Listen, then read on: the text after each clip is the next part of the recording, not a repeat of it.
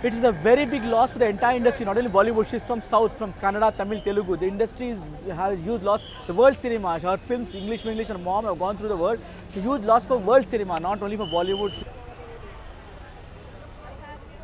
कल सुबह जब हमने मॉर्निंग को हमने टीवी ओपन किया और जब हमें पता चला कि श्रीदेवी नहीं रहे हमारा बीच में तो हमें बहुत दुख हुआ और हमें विश्वास ही नहीं हो रहा था कि श्रीदेवी जी नहीं रहा क्योंकि उनका उम्र भी बहुत कम था